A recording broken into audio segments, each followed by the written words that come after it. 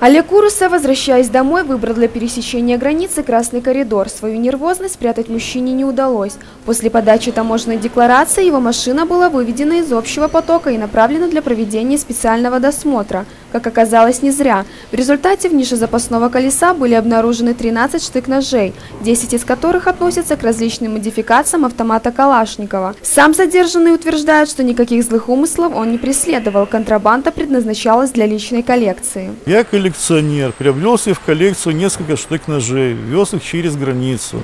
Когда э, проезжал таможню, выяснилось, что вести их нельзя, и их изъяли. Данные товары подлежат таможенному декларированию и при ввозе требуют специальных разрешительных документов в соответствии с законодательством Таможенного союза.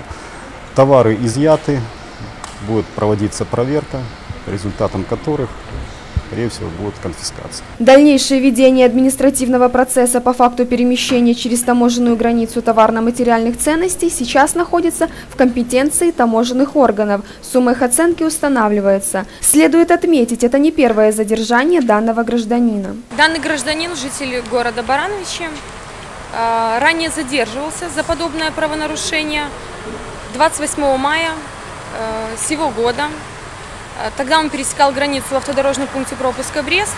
И после пересечения линии зеленого коридора транспортное средство было направлено в бокс для углубленного досмотра, после которого э, было выявлено 12 штык ножей и одна сабля. У военнослужащих Брестской пограничной группы уже имелась информация о возможной попытке незаконного перемещения через государственную границу товарно-материальных ценностей. Реализуя информацию совместно с должностными лицами таможни и был проведен таможенный досмотр.